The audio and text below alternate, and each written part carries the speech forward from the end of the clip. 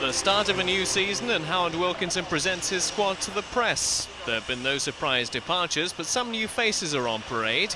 Out of Africa come striker Phil Masinga and defender Lucas Radebe.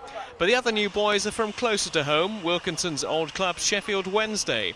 Nigel Worthington and Carlton Palmer join the ranks of the internationals at Elland Road. Destined to wear David Batty's number four shirt and costing about the same, how did Palmer feel about stepping into the homegrown hero's boots?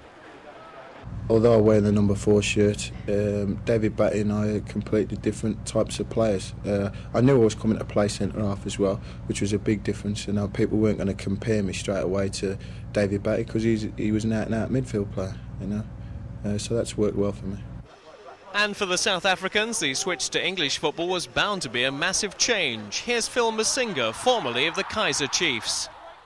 Yes, it was not that much easy for me to adapt over here. Firstly, everything is against you from the uh, from the start, and the new surroundings, new people to live with, new lifestyle.